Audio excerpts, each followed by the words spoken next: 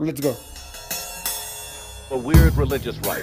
Five persons, including actress Sharon Tate, were found dead at the home of Miss Tate and her husband, screen director Roman Polanski. Miss Tate, who starred in Valley of the Dolls, was eight months pregnant and was found in a bikini-type nightgown with a rope around her neck attached to the body of a man.